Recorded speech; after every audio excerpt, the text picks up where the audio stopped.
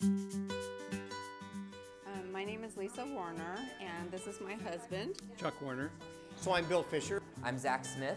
I'm Lou Bordiso. My name is Sarah Towie, and I'm here from Northern California, and it's my first year here. I'm very excited to be here.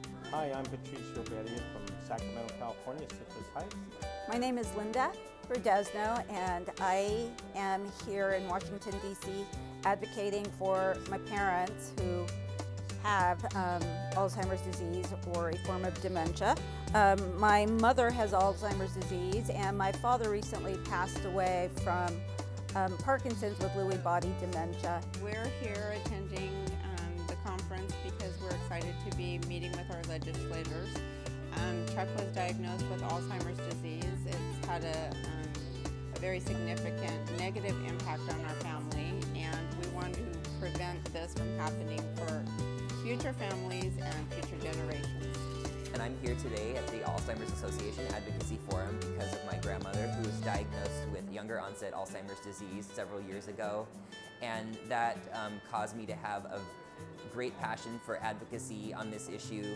And I began to realize more and more that as the disease increases in trajectory, it's going to be my generation whose responsibility it's going to be financially and personally. And I'm here in Washington, D.C. today to tell my legislators that my generation cannot face the financial and emotional toll of Alzheimer's disease.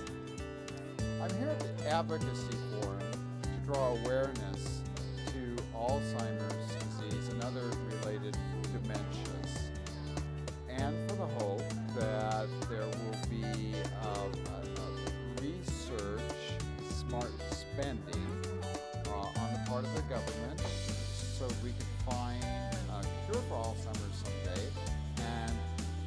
myself and others living with Alzheimer's a sense of hope. My grandfather passed away from Alzheimer's disease almost 10 years ago, so I'm here for him, and I'm here for all of the families who are currently struggling with this disease. I've seen firsthand what it can do, and it's exciting that we're able to come here and share our stories and hopefully make a difference um, for future generations.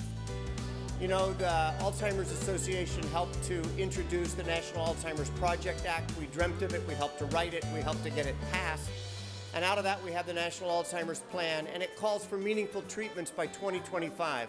And part of what we're after this visit is $200 million in additional federal funding for Alzheimer's research for the National Institutes of Health and promotion of our new bill, the Alzheimer's Accountability Act.